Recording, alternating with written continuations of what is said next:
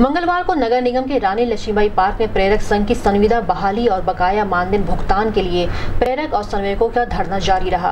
कार्यक्रम की अध्यक्षता रुखसाना खातून ने किया। धरने के नौवे दिन प्रेरक संघ ने शांतिपूर्वक बैठकर विरोध प्रदर्शन किया।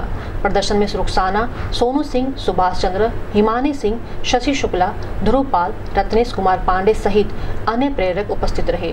इस संबंध में गोरखपुर न्यूज़ से बात करते हुए जिला संगठन मंत्री प्रेरक संघ गजेंद्र सिंह ने कहा मैं चाहता हूँ जल्दी मीटिंग में बुलाऊं कि एक साथ मिलकर के लड़ा जाए अपना अवसर विकास की खत्म करता है क्षेत्र कर्मचारी संघ की मांग को पूरी करने जिला परेशानी है।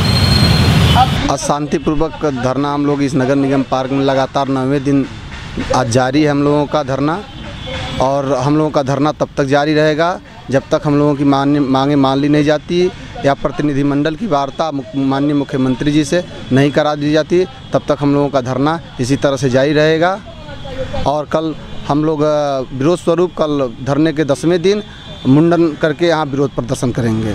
क्या नाम है आपका? जी गजेंद्र सिंह जिला संगठन मंत्री।